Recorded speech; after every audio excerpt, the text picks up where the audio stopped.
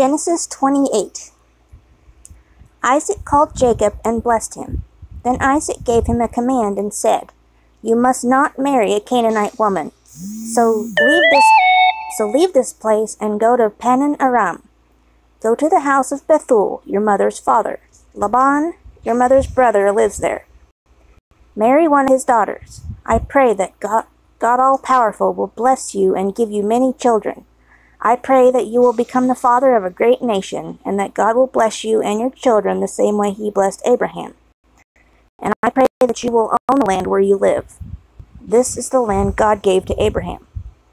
So Isaac sent Jacob to Rebekah's brother in Padan Aram.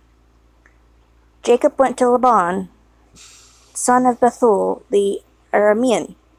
Laban was the brother of Rebekah, the mother of Jacob and Esau. Esau learned that his father Isaac blessed Jacob and sent him away to Padan Aram to find a wife there. He also learned that Isaac commanded Jacob not to marry a Canaanite woman. Esau learned that Jacob obeyed his father and his mother and went to Padan Aram. Esau saw from this that his father did not want him his sons to marry Canaanite women. Esau already had two wives, but he went to Abraham's son Ishmael and married another woman, Mahalath, the daughter of Ishmael. Mahalath was Nebaioth's sister. Jacob left Beersheba and went to Haran.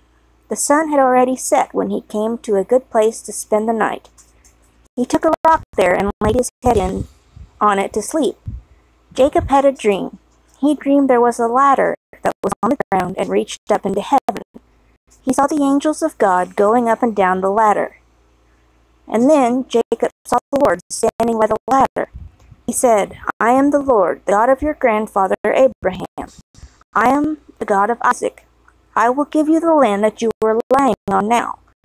I will give you this land. I will give this land to your children. You will have as many descendants as there are particles of dust on the earth. They will spread east and west, north and south. All the families on earth will be blessed because of you and your descendants. I am with you, and I will protect you everywhere you go.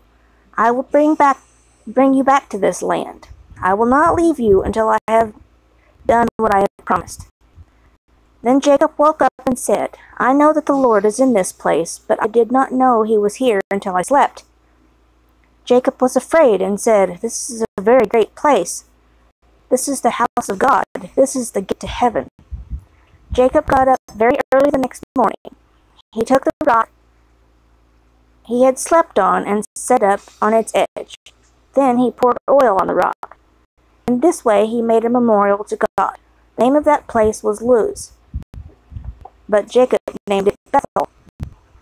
Then Jacob made a promise. He said, If God will be with me, and if he will protect me on this trip, and if he gives me food to eat and clothes to wear, and if I return in peace to my father's house, if he does all these things, then the Lord will be my God. I am setting this stone up as a memorial stone. It will show this is a holy place for God, and I will give one tenth of all he gives me. The end of that chapter. Thank you.